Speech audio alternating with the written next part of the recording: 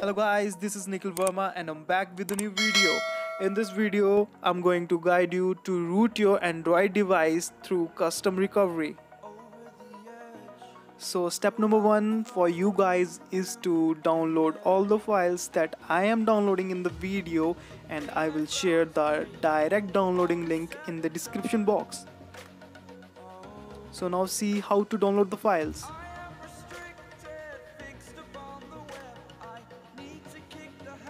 Do the same steps. You just have to click on the file's name to download it.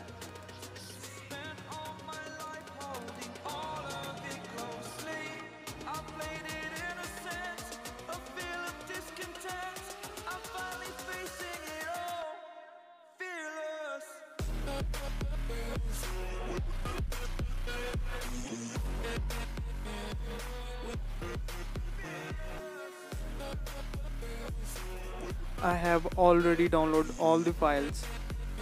You can see that. One is in APK format and another two are in the zip format which are flashable. So now it's time to reboot into re custom recovery.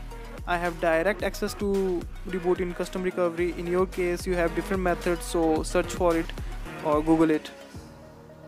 So in my case I have OrangeFox recovery but you can have TWRP or any other custom recovery that doesn't matter. Uh, the procedure will be the same to flash the root file in every custom recovery. So just follow the steps.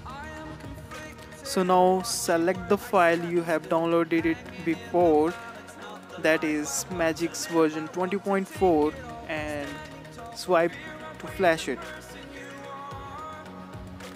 so now it's installing into your system.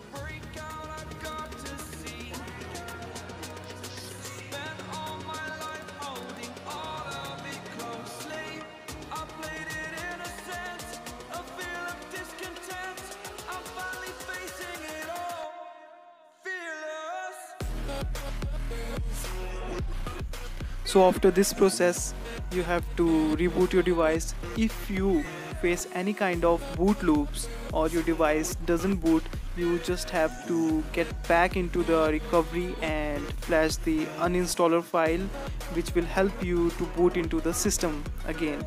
And if you face any kind of issue just comment down in the video.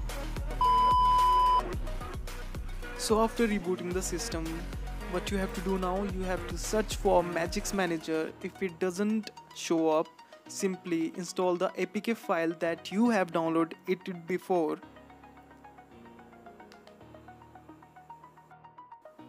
After installing the Magisk manager you will have root permission in your device and that's all. Hope you guys like my video. So subscribe the channel for more updates and see you guys in the next video